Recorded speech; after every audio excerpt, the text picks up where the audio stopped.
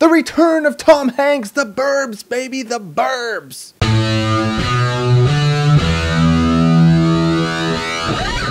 Larry Crowne, which is really nothing like the Burbs. Want to get that out there. All right, so Larry Crowne was actually directed by Tom Hanks, and it was written by Tom Hanks and that chick who wrote My Big Fat Greek Wedding. So it sounds like it's made by a couple people who know what's going on. So Larry Crowne's about a guy played by Tom Hanks named Larry Crowne who works in a retail store, and he's like the nicest guy ever. Like to an absurd degree, he's just always smiling. He's always happy. He's like that guy that you look at and you're like, I wish I knew more of those people. Then you look at yourself and you're like, I'm a piece of shit because I'm nothing like that guy. I should be. So the corporate guys who run the company he works for downsize and they fire him. He's like the perfect employee and they just can him. Which if you've ever worked retail, you understand. Because you know every retail chain is run by snakes, douchebags, and assholes. All of them. I've worked retail, so I know.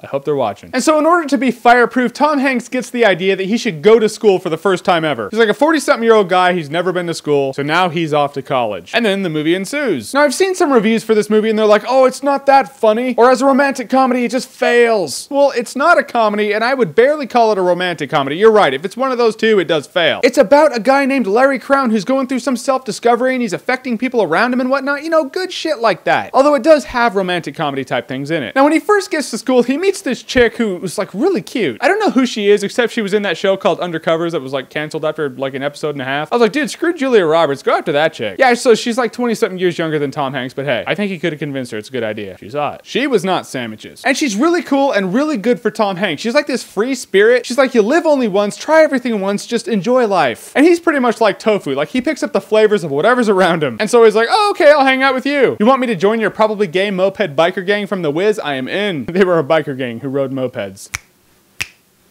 Probably gay. And he never has a romance with this chick. This chick's just someone he hangs out with. And Tom Hanks ultimately takes two college courses this semester, one taught by Julia Roberts, the other taught by George Takei. And he is attracted to one of them. Sorry, my gay demographic, he's attracted to Julia Roberts. Oh my. Now, Julia Roberts, when I first saw her in this movie, I'm like, she is such a drag. I mean, you're on such an up from Larry Crowne's character, you like him, and you're like, yeah, dude, I'm feeling good. This guy is awesome. then Julia Roberts is like gray the entire time, and you're like, oh, well.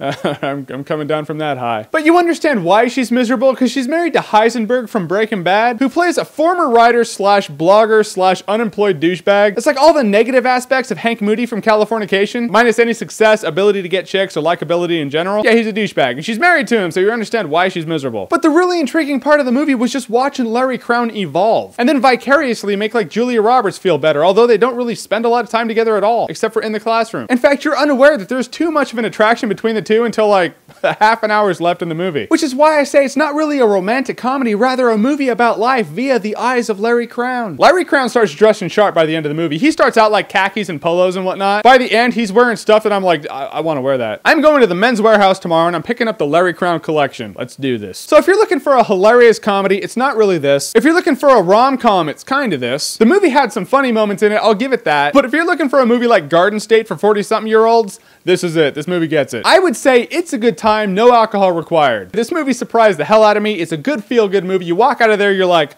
I want to be better. I just want to be a better person. I don't got to buy it on Blu-ray. I'll buy it on Blu-ray when I need to buy it on Blu-ray in about 15 years. I think the movie is tailored for people who are going through a midlife crisis, and it makes you kind of want to go to school too because you like the interaction that you just saw. But it's kind of like when you wanted to become a doctor after you watch Scrubs. Then you look into it and you're like, screw that shit. I ain't doing this anymore. That's way too exhausting. So Larry Crowne got fired from his job. What's the job that you've had where you're like, I, I can't believe I'm doing this. I hate this shit. I want to quit or hopefully I just get fired. Comment below. Let me know. And if you like what you've seen here and you want to see more, click right here to see more.